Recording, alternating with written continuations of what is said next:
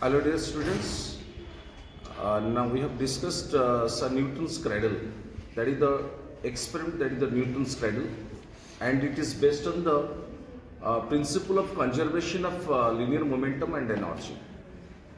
And you just see there are five uh, steel balls are there which are approximately elastic.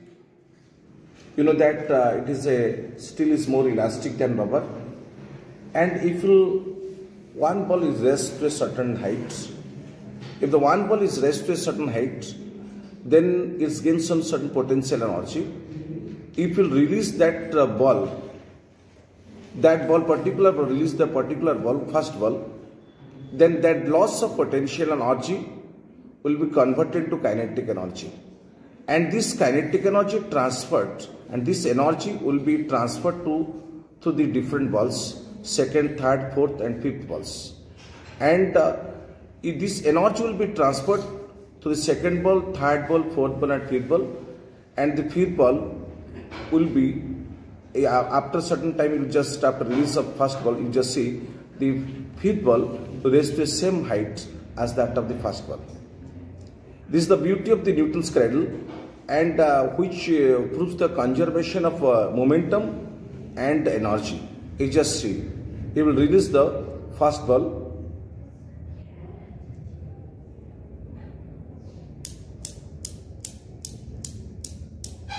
And this energy will be transferred to the second, third, fourth and fifth.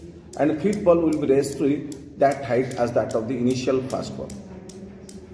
And this is the, and similarly, you just, uh,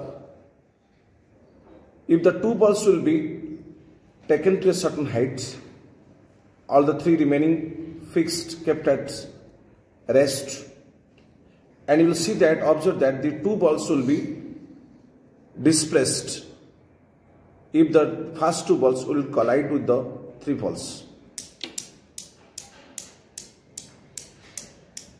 As this, uh, this is the principle of momentum, conservation of momentum and energy, this energy transfer to the, this elastic balls, this is the steel balls are approximately taken to be elastic and the oscillation actually gradually stopped after certain moment because of its uh, damped motions. Because the last the steel balls is not perfectly elastic. That is why 100% not elastic so that is why there is a loss of energy takes place and after certain time it will come to rest. This is the beauty of the Newton's cradle if we remove the three balls, we just see if they remove the three balls, alternately 2 and 3 will, energy will be transferred. Alternately, the energy will be transferred to 3 balls and 2 balls, 2 balls and 3 balls subsequently. And it is the beauty of the, you just see the beauty of the Newton's cradle. It'll, if you remove, you just release the 2 balls from a certain height. After impact, it will again come back to the same state, same position. And the, gradually the oscillation will be stopped because of this uh, motion and the energy lost because of this, uh, because of the property of elasticity, because it is not 100% elastic. That is why the energy gradually decreases and damped oscillation will take place. And you just see if you remove, it's the beauty of this uh, Newton's cradle, just hold it.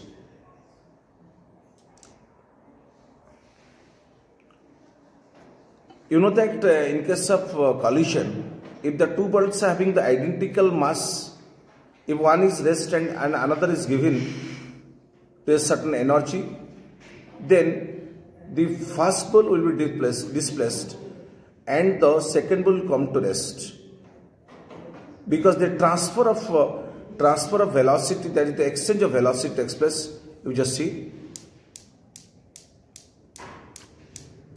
The energy gained by the second ball will be same as the energy of the first ball before collision. And this is the exchange of velocity takes place this is the exchange of velocity takes place in this case and is the beauty if the fifth pulse, five pulses are given the energy, then the energy will transferred, transmitted through the each ball and again five balls will be displaced. So this is the regarding the beauty of the Newton's cradle which based on the principle of uh, conservation of uh, linear momentum and energy. Thank you.